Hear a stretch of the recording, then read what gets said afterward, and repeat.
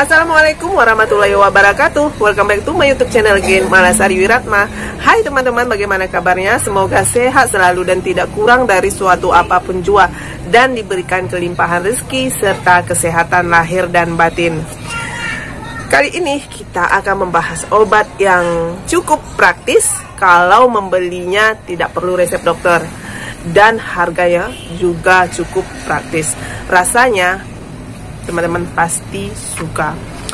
Obat ini obat cocok yang kita konsumsi di mana di bulan Desember ini musim hujan panas tentunya akan mengalami batuk yaitu obat batuk komik.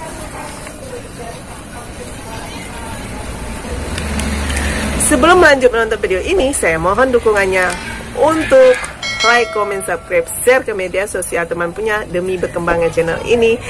Dan jangan lupa aktifkan lonceng notifikasinya agar video yang saya upload teman-teman update untuk menontonnya. Bagi yang sudah, saya ucapkan banyak terima kasih. Jadi tidak berlama-lama lagi, check it out.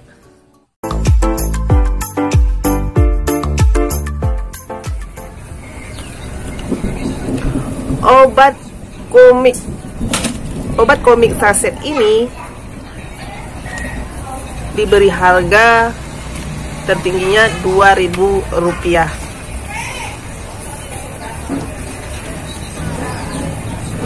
Jadi obat batuk ini bisa langsung diminum kapan saja dan di mana saja. Jadi praktis dibawa ke mana-mana pokoknya obat ini sangat praktis. Jadi sebelum teman-teman memakai obat ini, sebaiknya tonton video ini ya hingga selesai.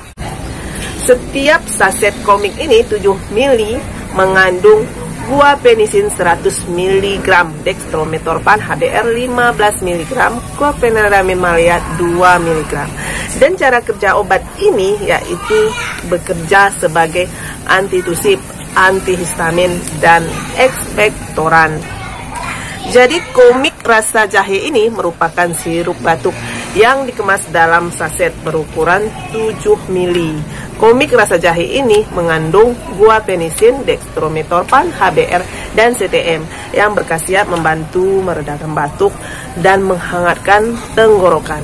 Komik rasa jahe ini bekerja sebagai antitusif untuk mengurangi gejala batuk, antihistamin untuk meredakan batuk, dan ekspektoran untuk mengeluarkan dahak.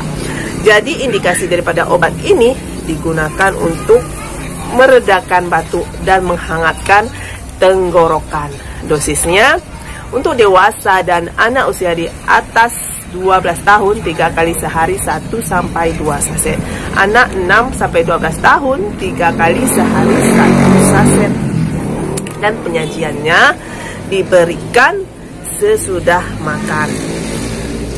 Perhatian jika memakai obat ini, hati-hati penggunaan pada wanita hamil dan menyusui, pasien usia lanjut, dan penderita hipertensi.